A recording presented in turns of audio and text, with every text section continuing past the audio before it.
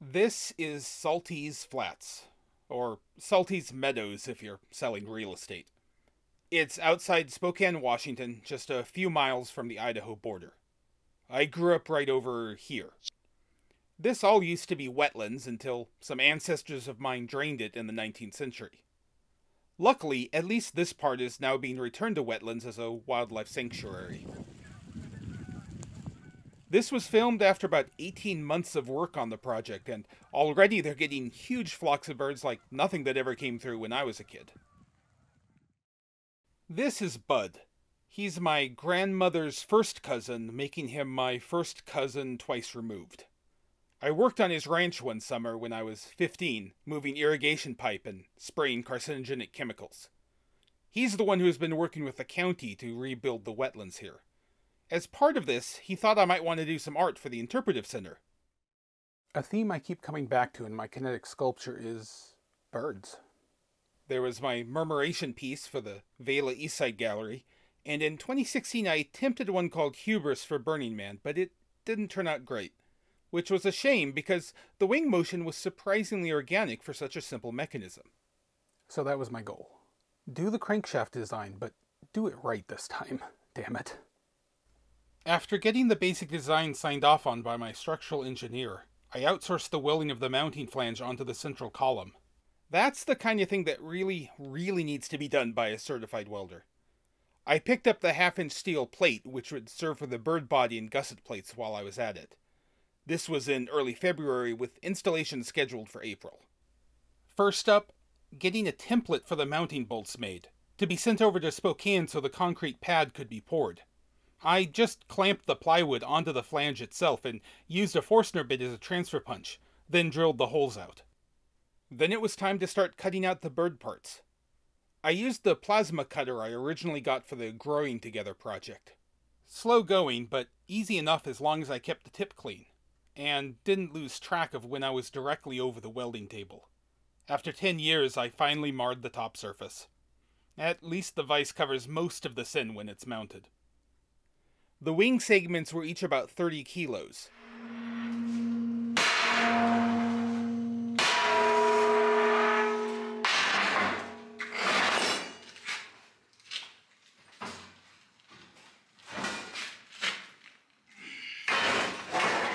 Heavy, but not quite unmanageable.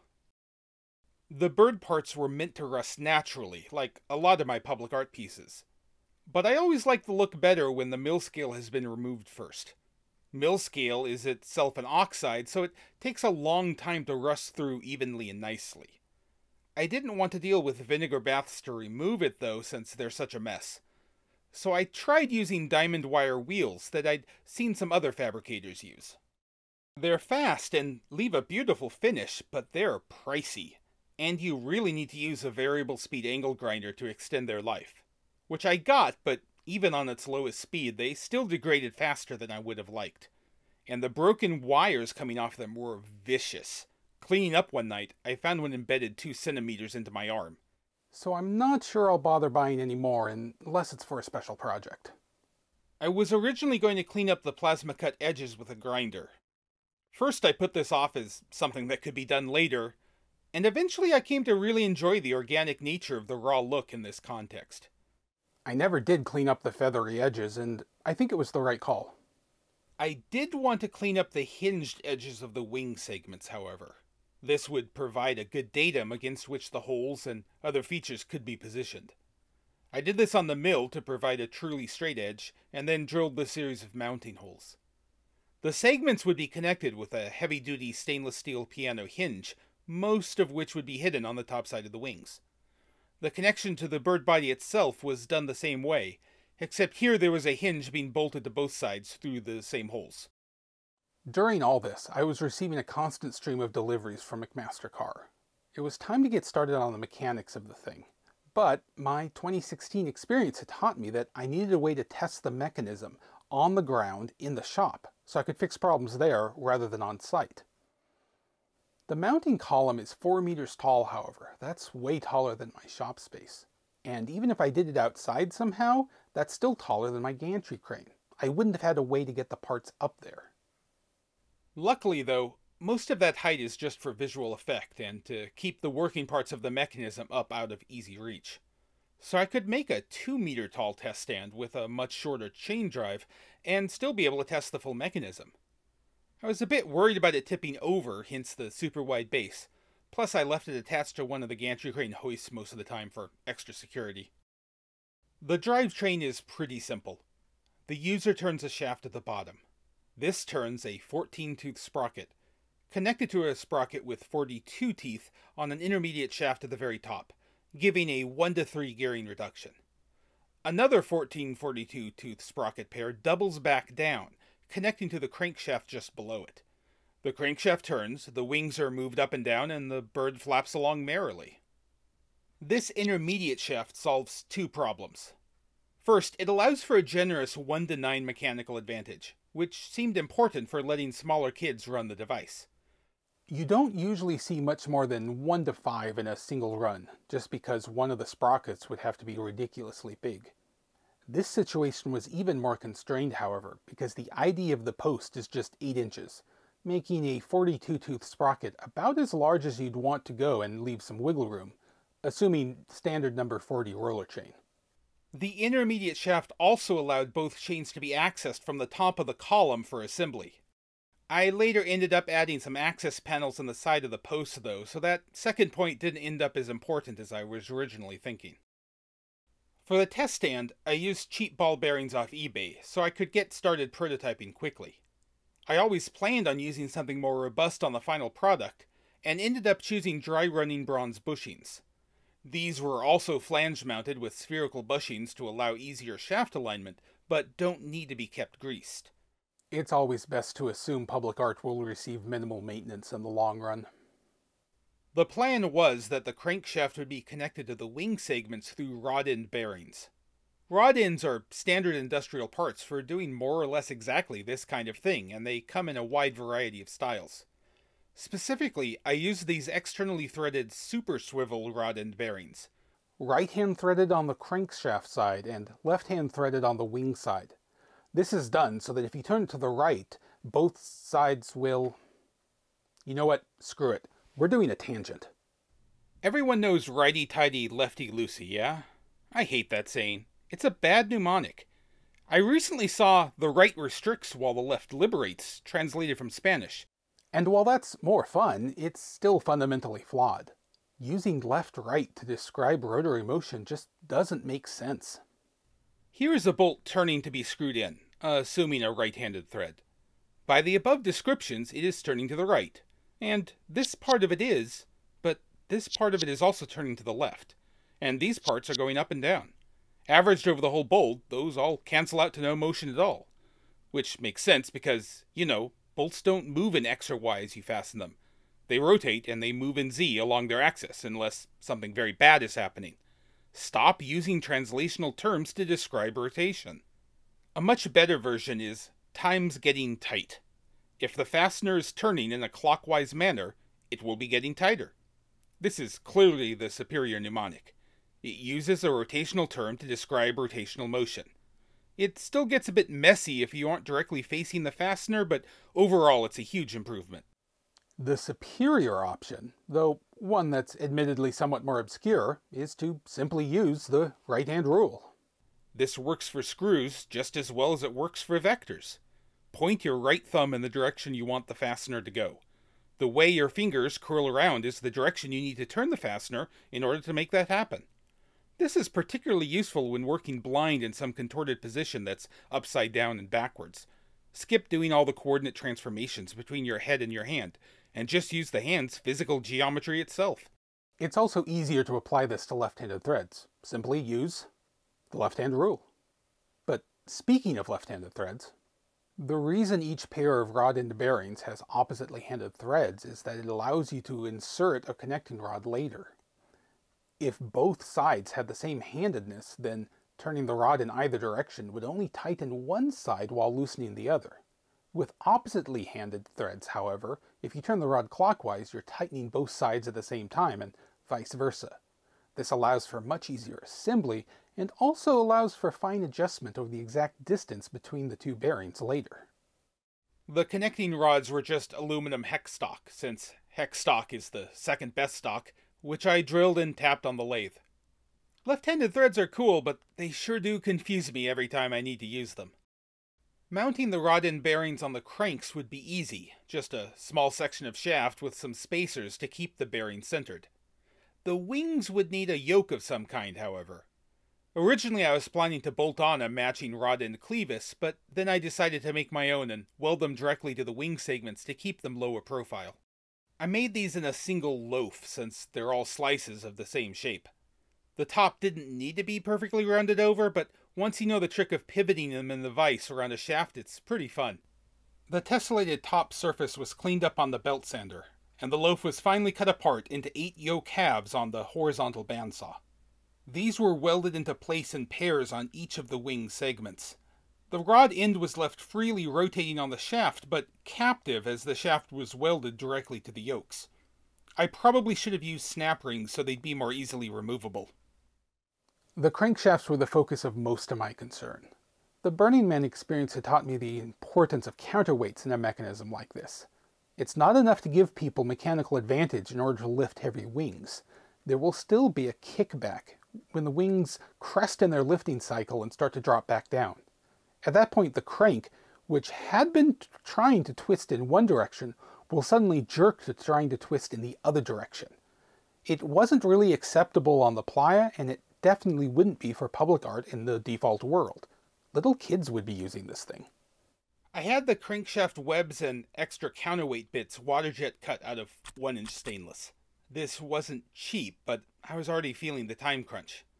And I really did want them to look as good as possible, as they're a very prominent aspect of the design. I cleaned them up, first reaming out the holes to be a perfect fit for the 1 inch shaft, then chamfering all the edges. These were heavy enough, I really didn't want any sharp edges when handling them. I also touched up the sides with the belt sander. The raw surfaces left by waterjet cutting are fairly precise, but still a little rough to touch and have a distinct matte look that just screams unfinished to my eye. With those ready, I could start testing with real motion on the test stand. I really came to love this magnetic lifting clamp. Getting the wing segments into position for testing would have been an absolute nightmare without it. At first, I just tacked them into place, leaving the shaft running straight through between the webs. This meant the motion couldn't quite go a full 360 degrees, but it was close enough to convince myself it was working. I could actually lift the weight of the wing segment just by turning the input shaft by hand, with no crank attached. Promising. After one segment was working, I moved on to the second, but only after adding a mid-span bearing to the design, supporting the shaft between the two cranks, I was already seeing enough deflection I was sure it would be needed. Convinced it was all working, the time came to finalize the first crankshaft. First, I welded everything together. The shaft still went straight through the reamed holes, helping keep everything aligned as best as possible. I originally thought I would then cut it out with a large angle grinder.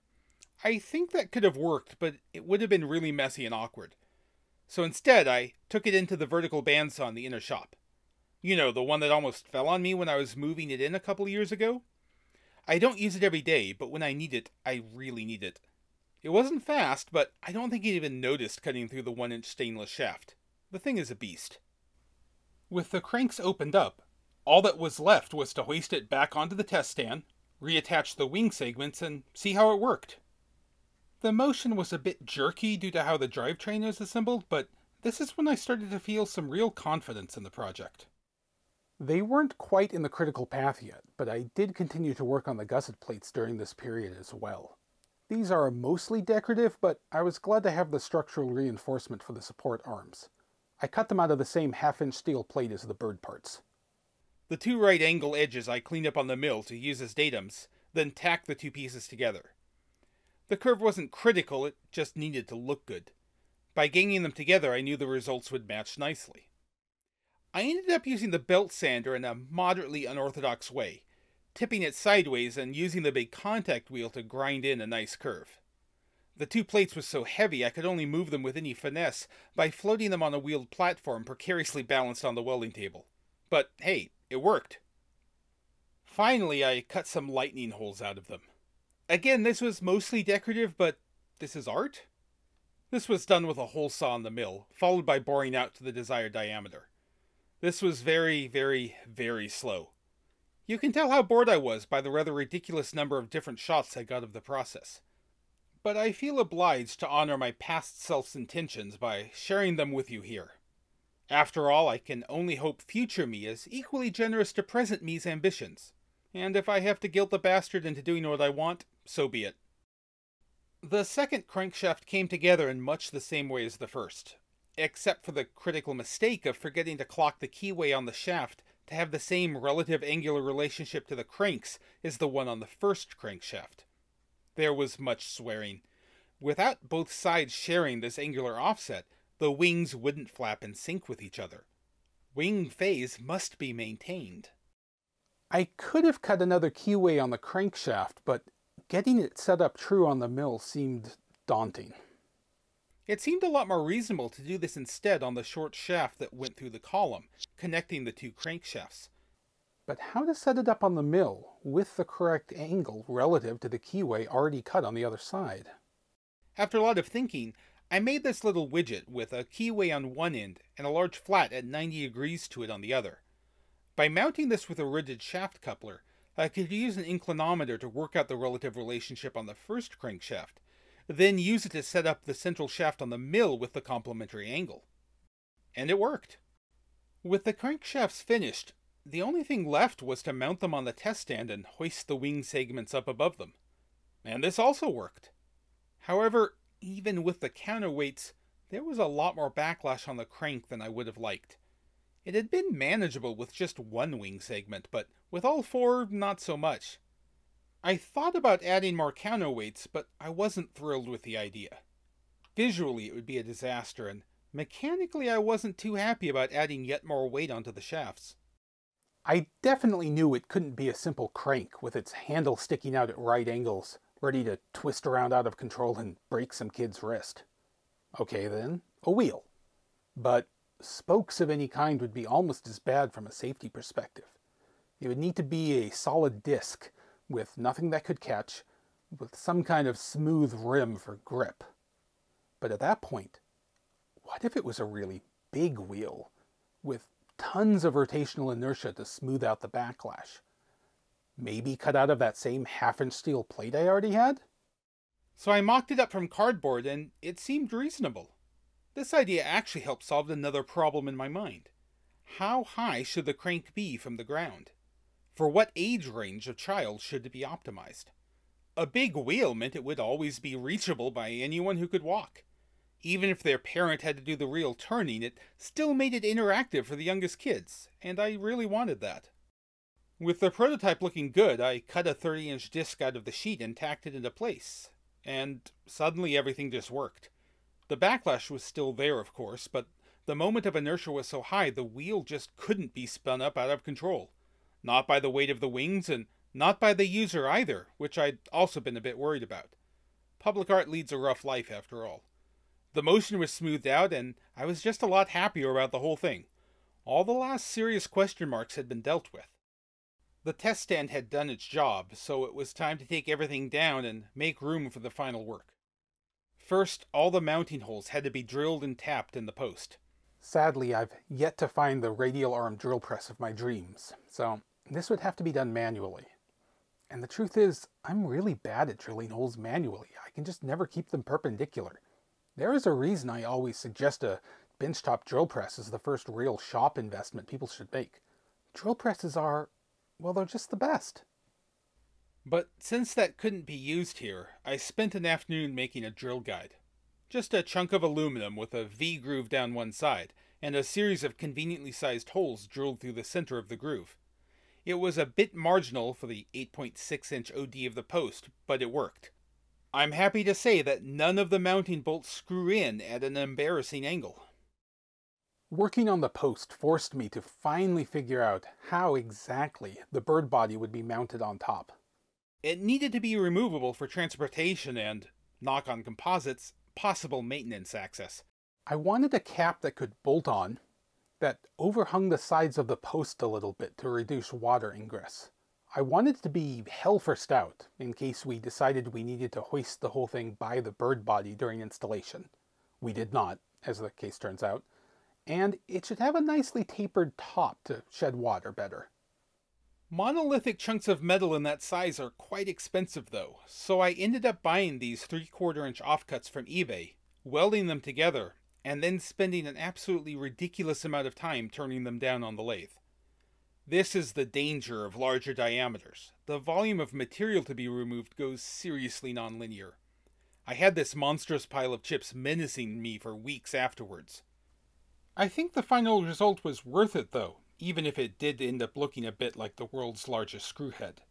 The slot was where the bird body would later be welded on. The last major bit of fabrication were the support arms.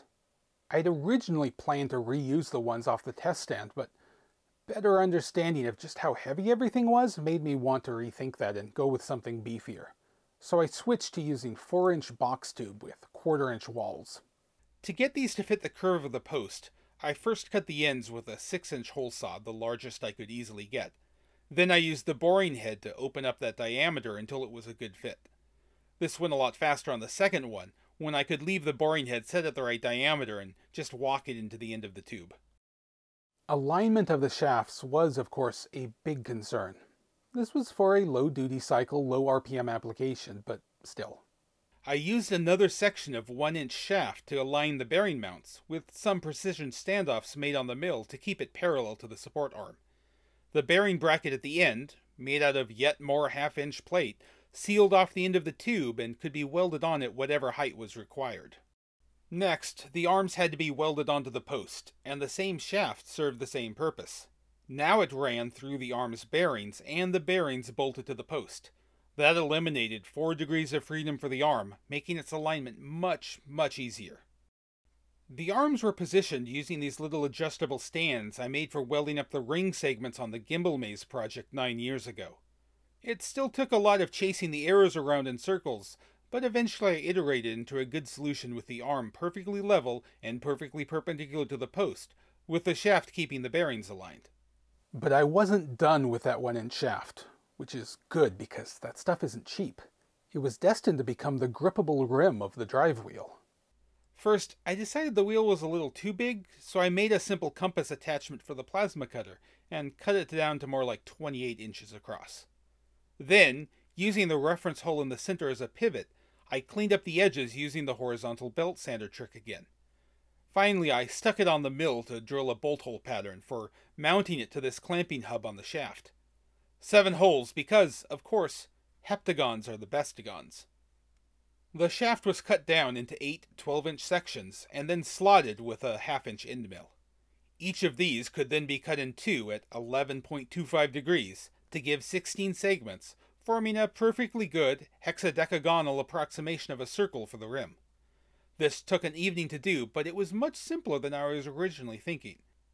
Instead of making a series of complicated jigs for the bandsaw and mill to make sure the beveled ends were aligned and the slot was cut perpendicular to them, I had realized I could cut the slot first and then use that to clock the pieces in the bandsaw vise. Simple. After tacking the segments around the rim, I wanted to round over the vertices nicely. Feeling ambitious, I decided to do this precisely on the mill like a civilized person.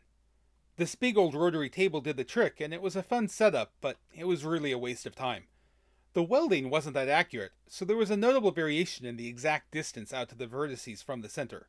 I still ended up doing the real cleanup with an angle grinder after welding. Oh well, I tried. After this, it was just welding on the gusset plates, which was a good thing because it was already April. I probably could have been done earlier, but I'm glad I didn't have to rush some of these steps. It's a conceptually simple project, but the scale of it alone really pushed the bounds of the shop. And my body, to be honest. In retrospect, I'm kind of shocked I never threw my back out even once. Those crankshafts are just about the most cursedly awkward things I have ever moved. It's hard to have a chain drive without a chain. Or two in this case. I keep a spool of number 40 chain on hand, so it was just a matter of counting out the links a personal record of 522 for the long chain. Breaking and joining them back into loops with a connecting link is the same as with shorter, more sensible links of chain. It's just a lot trickier to wrangle the rest of the chain while you do it. I usually end up clamping it in a vise so I can use an angle grinder to cut off the rivet heads to make breaking easier. With the chains made, final assembly of the drivetrain could happen. Keys were set in keyways, bearings were bolted down firmly, the shafts were all snap ringed and clamped into place, the chain drive was tucked away neatly inside the column, and the passive voice was used excessively. Anyway, a few coats of paint, a rented flatbed, and some lengthy and very damp loading of everything which I didn't bother to film, and it was time to head east to the homeland of my people. Installation went okay. A boom truck with a skilled operator definitely beats my normal fumbling around with a rented forklift. We got the post flipped around and the bird attached. After trying out a couple different rigging options, we flew the whole thing over to the mounting bolts and got it locked down without any problems. The relief I felt at seeing it slot down onto the bolts cleanly was immense. Not having the bolts and bolt holes quite match up is a trauma that only has to be experienced once to leave lasting psychological impact. But just as I thought the danger was past, this is where it all got a little bit bumpy. The main chain drive was very loose. Not quite unusably so, but a lot more than I would have wanted. We eventually decided just to leave it be for now until it becomes a real problem. Swapping out those sprockets isn't going to be easy.